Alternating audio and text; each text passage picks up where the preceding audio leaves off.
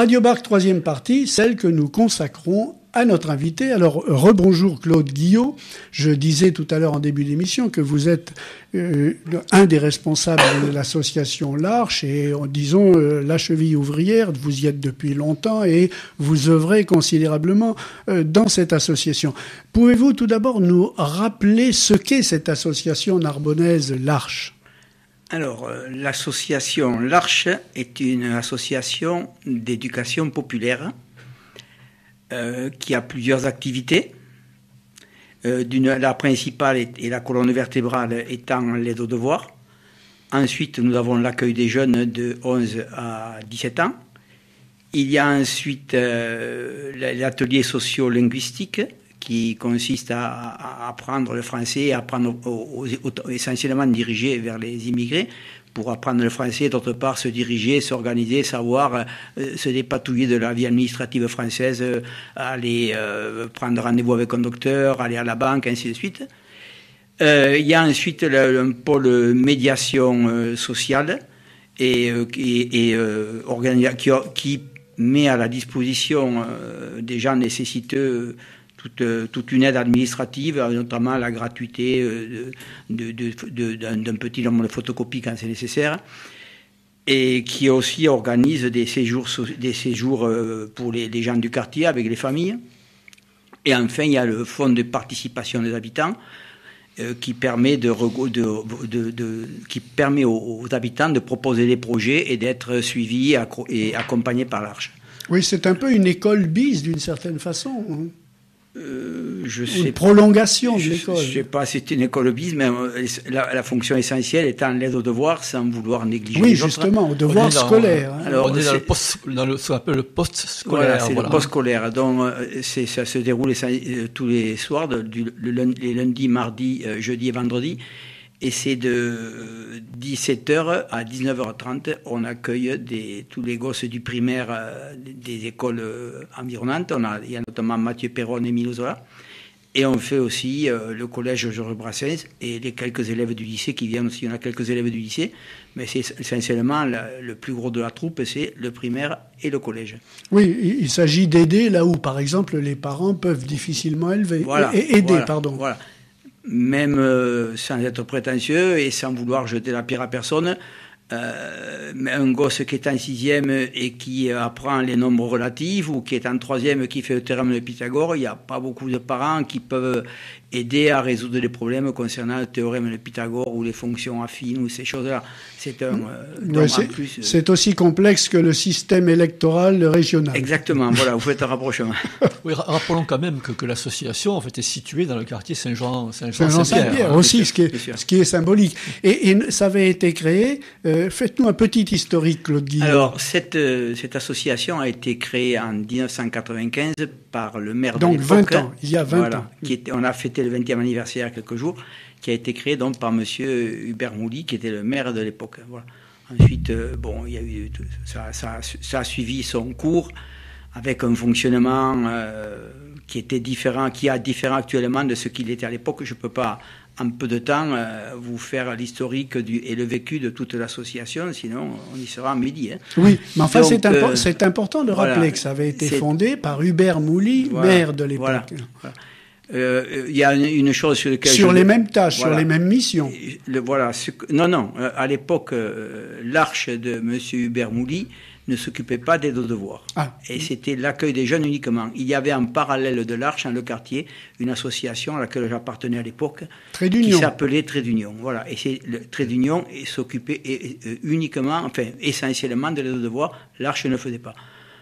Par la suite, il y a eu fusion des deux. Des deux et donc l'Arche a repris à son compte le, la, la, partie aide aux devoirs et l'a inclus dans, dans, ses activités. Une fusion technique, comme dirait Michel Santo. voilà. Mais positive. Voilà. Alors ça a été créé donc par euh, le maire Hubert Mouly, mais aujourd'hui il semble que les relations avec la mairie actuelle de Narbonne ne soient pas au beau fixe, pour employer un euphémisme. Ah, alors les relations ne sont pas au beau fixe, elles, ne sont pas euh, ce qu'on voudrait qu'elles soient. Euh, je pense que c'est-à-dire, euh, on voudrait. Alors, nous sommes dépendants, c'est un peu, c'est un peu paradoxal. Vous êtes financé par qui, grosso voilà, Nous sommes financés par la mairie de Narbonne, le Grand Narbonne et la CAF. Voilà. Et donc, euh, ce que nous tenons à avoir, c'est notre autonomie notre, de, de, de, pensée, notre autonomie de décision, notre autonomie de, notre autonomie de création de projets.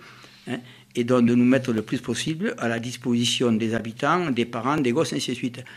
Et euh, ça, ça marche pas, ça passe pas toujours très bien avec les politiques parce que euh, ça, demande à nous laisser la bride sur le cou et ça pas, ça marche pas toujours. Un exemple, ce qui est un peu à l'origine, qui est le, facteur déclenchant de nos petites différences là.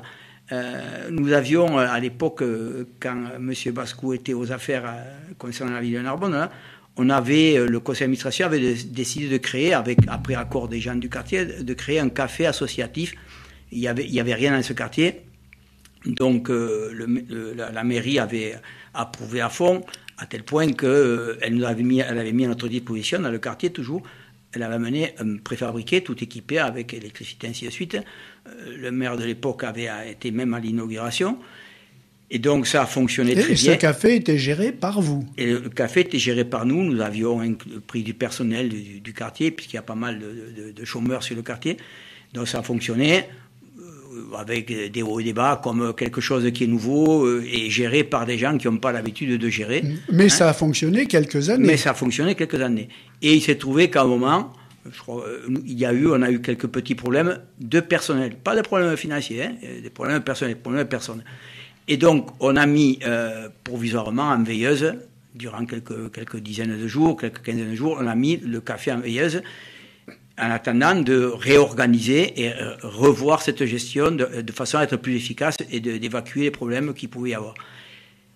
Et le paradoxe, enfin pas le paradoxe, il s'est passé qu'un matin, on reçoit un coup de téléphone d'un habitant du quartier qui nous dit Qu'est-ce qui se passe euh, Qu'est-ce qui vous arrive là? Votre café est en train de disparaître.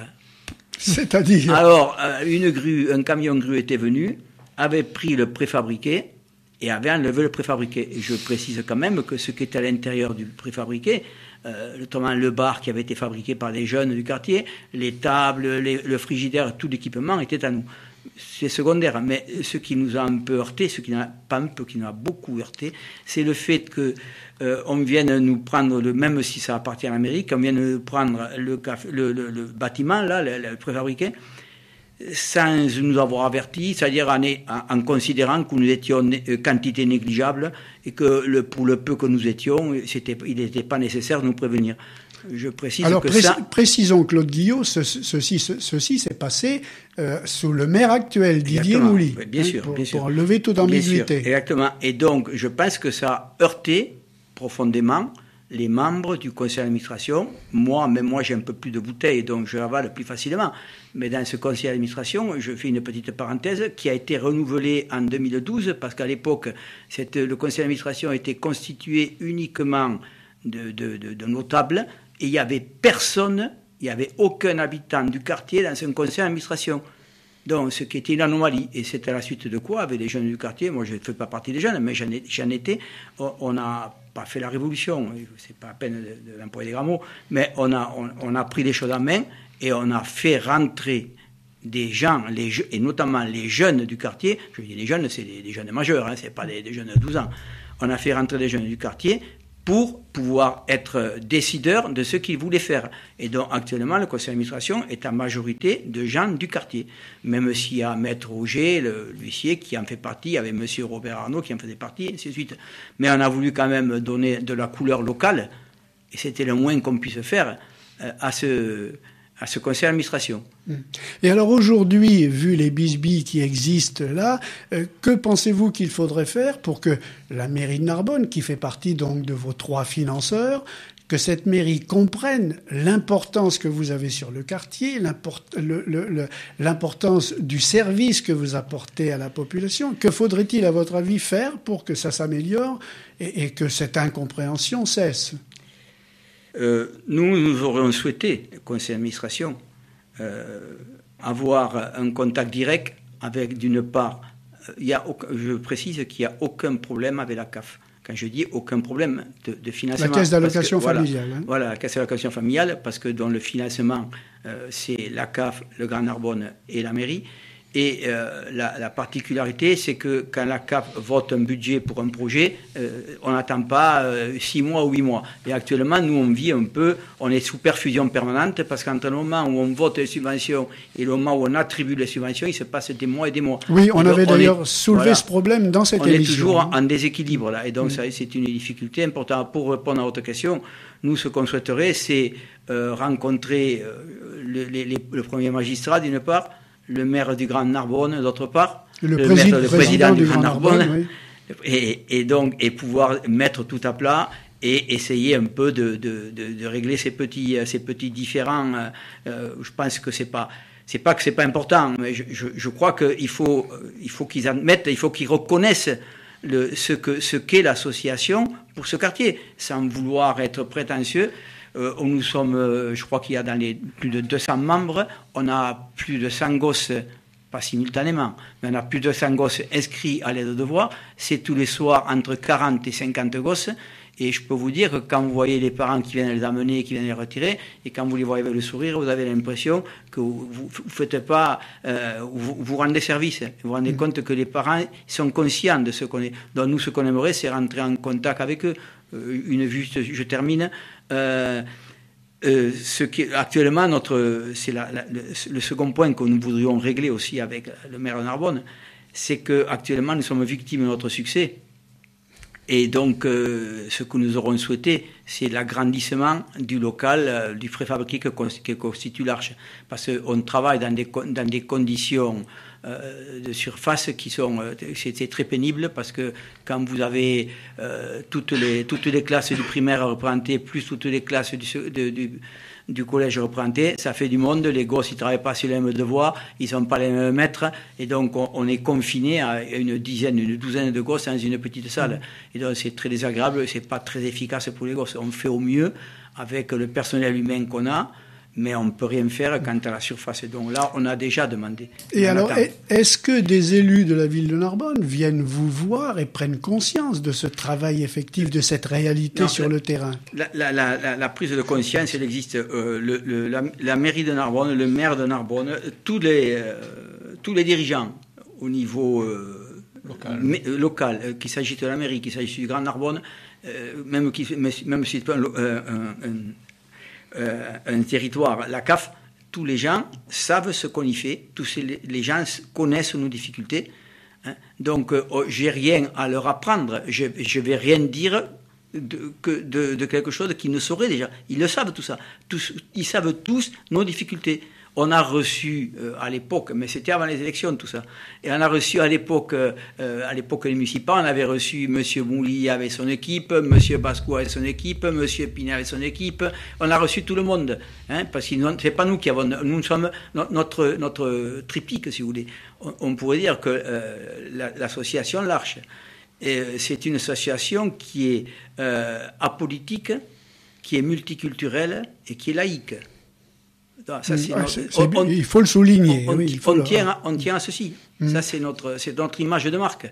Hein. Donc, on a que tout le monde. Et du côté du Grand Narbonne, il n'y a pas ce problème-là ou est-ce qu'il y en a un aussi? Je crois qu'il y a un peu de problème de personnes avec le Grand Narbonne. C'est pour ça que je vous dis, nous ne sommes pas des enfants de cœur et nous ne sommes pas blancs comme l'agneau. Vous êtes hein. parfois très revendicatif, voilà, on est, normal. on est revendicatif. du quartier. En plus, y a, ce sont des jeunes les jeunes, euh, ils, ont leur, ils ont les qualités de leurs défauts, donc ils sont, ils sont impatients, ils sont fougueux, euh, ils manquent un peu de diplomatie, mais ce qu'on ne peut pas leur reprocher, c'est que je peux vous dire qu'ils sont viscéralement accrochés à l'arche et à la vie de l'arche.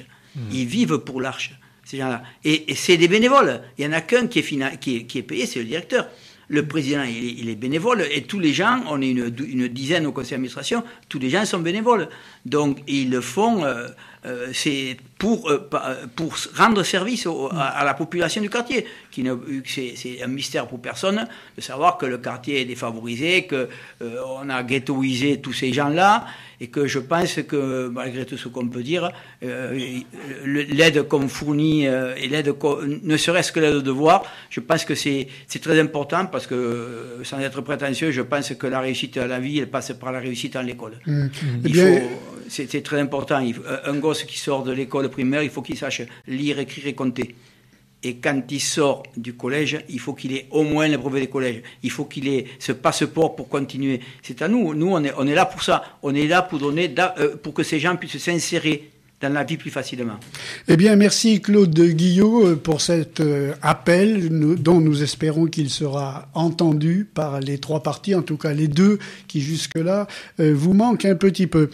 Pour ce Radio Bar, on va marquer une trêve des confiseurs euh, traditionnels, donc nous serons absents comme beaucoup pendant deux semaines, mhm. mais nous nous retrouverons bien évidemment à partir de 2016 avec notre prochaine invitée qui sera Hélène Sandranier, une des vice-présidentes du conseil départemental de l'Aude.